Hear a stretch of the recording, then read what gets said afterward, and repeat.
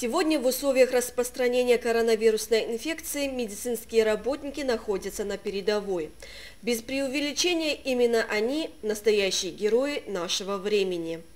Поэтому ресурсная помощь и поддержка инфекционных больниц, создание необходимых условий врачам для оперативного оказания помощи пациентам, а главное – здоровье самих врачей – на данный момент первостепенные приоритеты для благотворительного фонда имени Олега Журавского «Созвездие добра». Программа «Оператор добра» была создана благотворительным фондом «Созвездие добра» для помощи в борьбе с коронавирусом. Она появилась в апреле 2020 года и стала одним из первых национальных проектов по оказанию ресурсной помощи медицинским учреждениям в условиях пандемии. Хочется отметить, что этот фонд работает в масштабе Российской Федерации. С проблемой нехватки дезинфицирующих средств столкнулась и Кашхабльская ЦРБ.